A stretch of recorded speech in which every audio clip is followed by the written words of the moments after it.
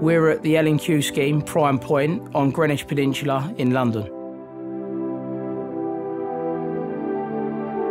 So we're here today to climb the crane, in which we increase the height of the crane by 25 metres.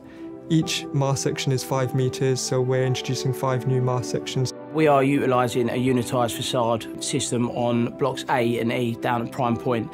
And to get the value out of a unitised facade, you want to leave as little amount of it down as possible.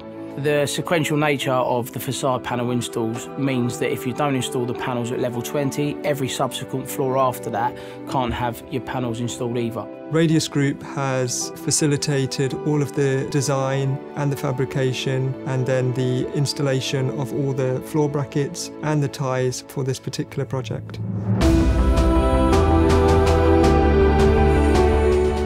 So we went from having a collar and three legs and ties to a collar and four legs and ties.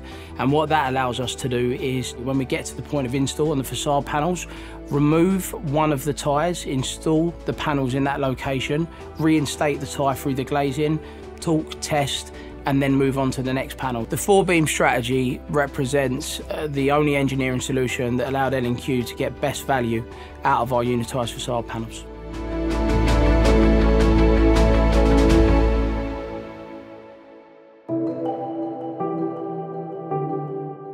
When we decided to go down the route of using Radius, it was primarily because they'd done the best job in satisfying our requirements to make sure that we could build the scheme out safely and optimise the crane solution to get best value out of our facade packages as well.